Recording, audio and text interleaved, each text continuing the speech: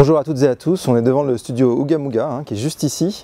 Et euh, ce matin on va enregistrer Blanc, euh, la chanson Blanc. Et euh, comme vous voyez juste derrière moi c'est vraiment de circonstances, tout est blanc, il y a même de la neige. Du coup pourquoi je voulais commencer le hashtag En toi je vois demain, ce projet par Blanc, parce que Blanc pour moi ça a été vraiment le premier choc, ce qui m'a j'ai eu l'impression à ce moment-là de, comprendre, en tout cas de voir le talent incroyable de composition et de voix exceptionnelle de, Nico Saro. Euh, et donc c'est ce moment-là que je vais vous faire partager, ce moment initial qui, moi, euh, m'a fait dire, ouais, ce mec, euh, il a vraiment quelque chose. Et ben c'est parti.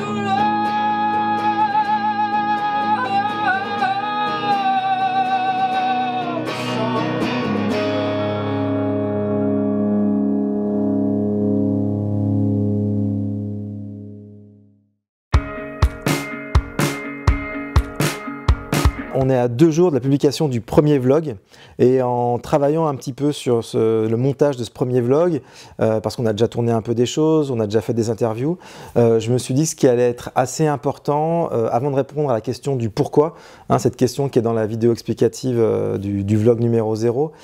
Il allait être important en fait euh, d'en savoir plus sur Nico, de le, découvrir en fait. Euh, Et je me suis dit que ça, pouvait être bien euh, que sur chacun des titres, que ce soit les covers ou ses morceaux à lui, eh ben, qu'on parle un peu de ces morceaux et puis, à travers ça, eh ben, qu'on en apprenne plus sur lui. Donc je l'ai interviewé. Ce que je vous propose de regarder maintenant, c'est un petit bout d'une première interview où on a parlé justement de Blanc. Voilà, Ben, on regarde tout ça et puis on se retrouve après. Tu vas jouer Blanc parce que c'est parce que le premier titre. euh, moi, j'ai l'impression que c'est le premier titre de Saro. Est-ce que c'est vraiment le cas? Euh, c'est pas le cas, il y avait d'autres titres avant, mais c'est vrai que c'est peut-être le morceau qui, en termes d'énergie et d'élan, a, a boosté un peu, euh, un peu le truc. Toi, pour toi, blanc, c'est, ça représente quoi euh, dans le répertoire ou, ou dans, ton, dans le parcours là? Saro, ça représente quelque chose en particulier Tu vois, il y, a des- il y a des titres, on peut imaginer qu'ils ont un- ils représentent des choses en particulier. Je pense à Tequila, mais on en parlera une autre fois. Mais... Euh, Je pense que Blanc t'a fait plus d'effet à toi qu'à moi, peut-être, déjà d'une. Euh, non, mais je, je sais pas, moi j'avais déjà entendu ça dans mes interviews. En fait.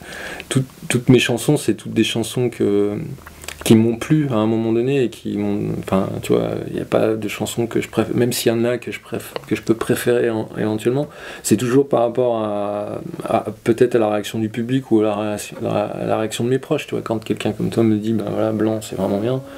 Je dis ah ouais, peut-être qu'il a raison, euh, voilà, mais ça veut pas dire que je le défends moins au fond de moi qu'un autre, quoi. T'écrivais comment à l'époque? T'écrivais d'une manière Euh, particulière dans mon souvenir. Ouais, c'est un peu ce qu'on appelait l'écriture automatique, euh, un peu euh, partir un peu dans un, se laisser divaguer et partir un peu sur des, des phrases et des. Enfin, j'essa- j'essayais toujours d'être un peu en, en, en connexion avec mon inconscient, si c'est possible, de le faire dans un état conscient. Euh, mais l'idée c'était de faire tourner des parties, puis d'avoir des mots, des phrases qui revenaient. Donc effe- effectivement, dans, dans cette, euh, dans ce processus-là, euh, des fois il peut sortir des choses un peu, euh, un peu bizarres, et puis des, des, des, des trucs qu'on n'avait pas forcément, euh, auxquels on n'avait pas forcément pensé au départ. Mhm. Et blanc, c'est plus un constat, s'il fallait résumer, c'est plus un constat aussi de d'inutilité, enfin de se sentir un peu inutile et un peu un peu immobile, un peu euh, un peu figé euh, face à ce que la vie nous prépare en fait. C'est un peu ce J'étais aussi dans un constat euh, peut-être j'ai toujours écrit un petit peu dans un état d'esprit un peu mélancolique aussi, tu vois. C'est un peu ma. C'est pas ma marque de fabrique, mais c'est un peu. Ça correspond plus aussi à ma, manière de faire de la musique. Après, ça veut pas dire que je suis quelqu'un de mélancolique, parce que dans la vie, euh, j'aime bien rigoler et tout, mais. euh, en tout cas, quand je faisais de la musique, euh, voilà, j'avais l'impression qu'il fallait que je sois en phase avec les émotions un peu plus profondes. voilà. Mhm. Euh, voilà, après, je, je- je suis mal placé. Et une chanson que tu as écrite comme ça depuis hyper longtemps sur un sentier inquiet, etc. euh, quand tu la rechantes aujourd'hui, ça t'a toujours. euh, tu trouves toujours justement du, du sens. Enfin, c'est- sens. pas des, c'est pas des chansons qui des fois te. Bah en fait, j'ai des fois je me dis oups, le pauvre. non, non, je me dis voilà, je, je, je compatis avec ce- cette- la personne qui a écrit ces chansons. Je me dis oups, ah ouais, effectivement quand même. On avait gros sur la patate. Non, mais euh, non, ça me touche. euh, des fois, ça me touche parce que je me sens des fois aussi un peu étranger euh, à mes propres chansons. Ça m'arrive. Quand je rechante des trucs que j'ai pas rechanté depuis longtemps, je me dis ouais, bon, effectivement, ce serait maintenant peut-être que je l'écrirais pas comme ça, peut-être que je la chanterais pas comme ça, mais euh, mais en tout cas, je, je- je comprends certains trucs. Puis il y a des fois, il y a des choses que je ne comprends pas du tout. Je ne sais pas ce que j'ai fait et je ne sais pas comment j'en suis arrivé là. Quoi. C'est plutôt marrant.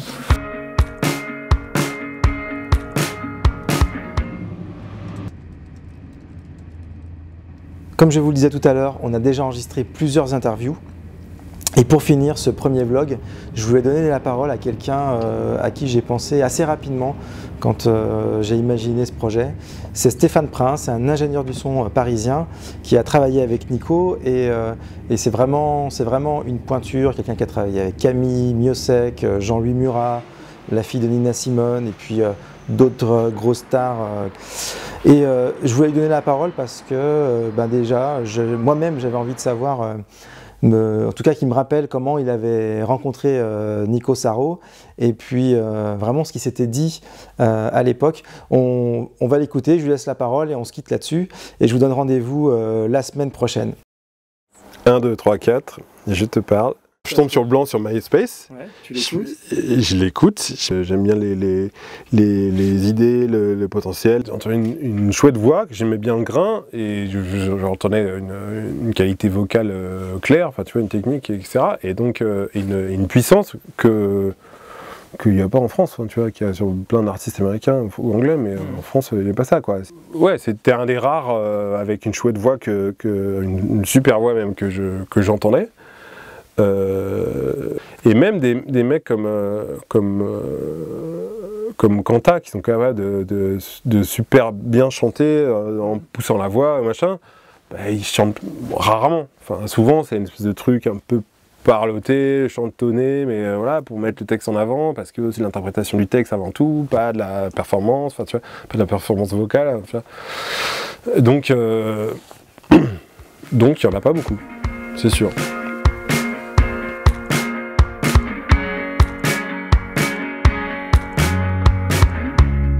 Peuvent bien flamber, n'auront pas nos mains, les naufragés. Évidemment, comme toujours, euh, n'oubliez pas que pour nous soutenir et pour aider euh, ce projet, eh ben, mettez des pouces bleus, euh, abonnez-vous à la chaîne YouTube. Vous pouvez également cliquer sur la cloche pour être prévenu des prochaines vidéos. Évidemment, partagez sur vos réseaux sociaux euh, les vidéos euh, de Nico ou même ce vlog s'il vous plaît. Et puis, euh, enfin, vous pouvez aussi vous abonner à nos réseaux sociaux pour suivre l'actu de hashtag En toi je vois demain. En tout cas, merci à tous et je vous retrouve la semaine prochaine. À bientôt